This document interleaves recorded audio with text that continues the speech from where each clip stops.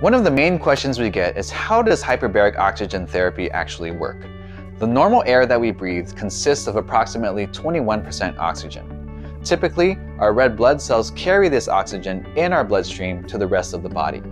By breathing in pure oxygen and increasing the atmospheric pressure similar to being several feet underwater, this allows the oxygen to dissolve into the plasma of the blood, your lymphatics, and your cerebral spinal fluid, which surrounds your brain and spinal cord. These fluids help distribute the increased oxygen to the affected and damaged areas at a level up to 400% of your normal oxygen concentration, therefore providing your body a greater opportunity to heal, regenerate, and recover.